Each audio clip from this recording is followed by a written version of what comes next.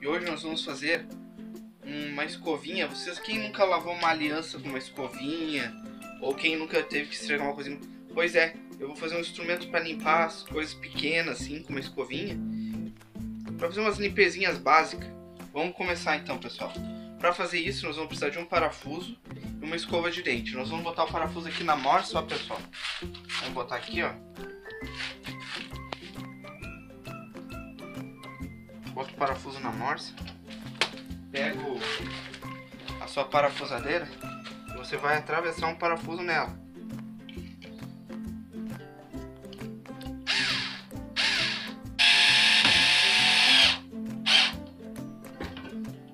Ó, pessoal, como vocês estão vendo, ó, eu atravessei o parafuso numa escova de dente, ó, vocês estão vendo?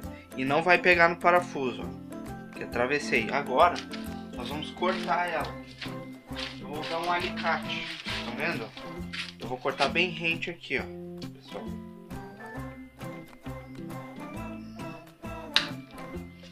E aqui, ó, pessoal, já tá pronto, ó. Isso aqui nós vamos usar para limpar alguma coisa.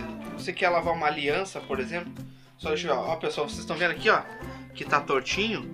Nós temos que desentortar, Então, nós vamos desentortar ele aqui na morsa para ficar bem retinho na hora que for fazer a limpeza.